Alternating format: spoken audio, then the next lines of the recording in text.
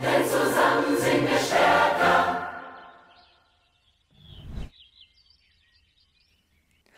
Hallo und willkommen bei Capella Academy. Weiter geht's mit unserer Serie zur Musiklehre. Ganz am Anfang haben wir die Notenwerte kennengelernt, also ganze, halbe, Viertel, Achtel und so weiter. Vielleicht fragt ihr euch, ob es auch Notenwerte dazwischen gibt, also zum Beispiel nicht nur halbe und ganze Noten, sondern zum Beispiel Dreiviertelnoten. Genau darum geht es heute und wir schauen uns noch ein bisschen mehr an. Wenn man hinter den Notenkopf einer Note einen Punkt setzt, verändert das den Notenwert. Der Ton wird um die Hälfte seines eigenen Notenwertes verlängert. Aus einer halben Note wird durch den Punkt also eine Note, die gerade so lang ist wie eine halbe und die Hälfte einer halben Note, also eine Viertelnote, zusammen.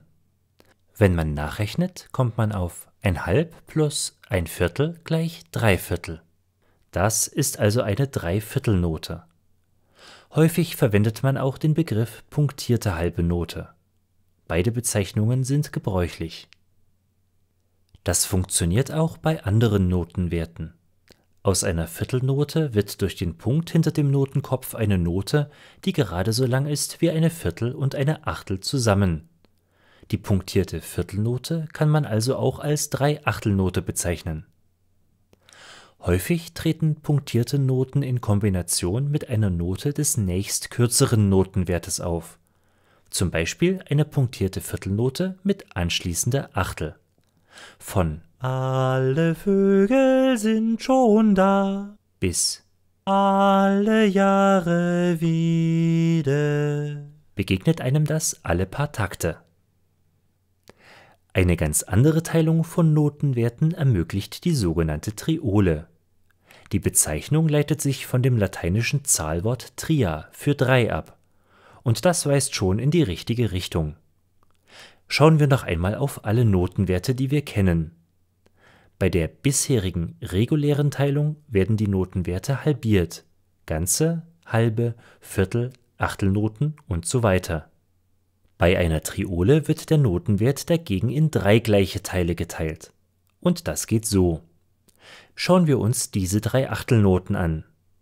Sind sie durch eine eckige Klammer verbunden, in der eine 3 enthalten ist, werden sie zur Triole der Notenwert jeder einzelnen Achtelnote verkürzt sich so, dass die drei Noten zusammen so lang sind wie zwei normale Achtelnoten oder eben eine Viertelnote.